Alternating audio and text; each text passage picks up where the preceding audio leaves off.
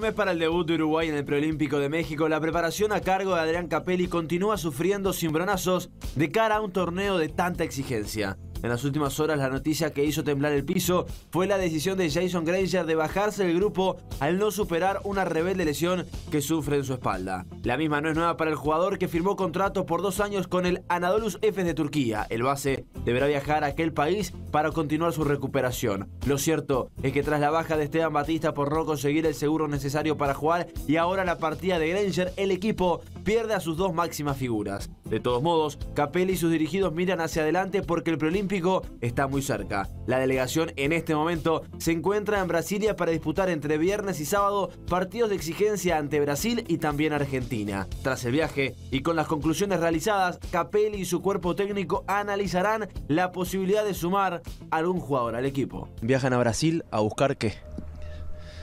A buscar un poco de juego, de, lo que hablamos de el tema de jugar, que es fundamental de, tener una buena medida con, con dos equipos muy importantes como son Brasil y Argentina, para ver bueno dónde estamos parados. A menos de un mes para que comience el torneo, ¿qué, te falta? ¿Básquetbol?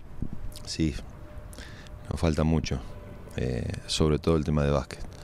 Eh, estamos tratando de, jugar mucho entre nosotros, pero bueno, sabemos bien que, que no es lo mismo. Así que bueno, este viaje a, Brasil nos va a servir para, para activarnos un poco más y, como decía anteriormente, para, para saber qué es lo que tenemos que seguir trabajando y qué otras cosas tenemos que, mejorar e insertar para, para llegar, como decimos siempre, de la mejor manera al inicio del preolímpico.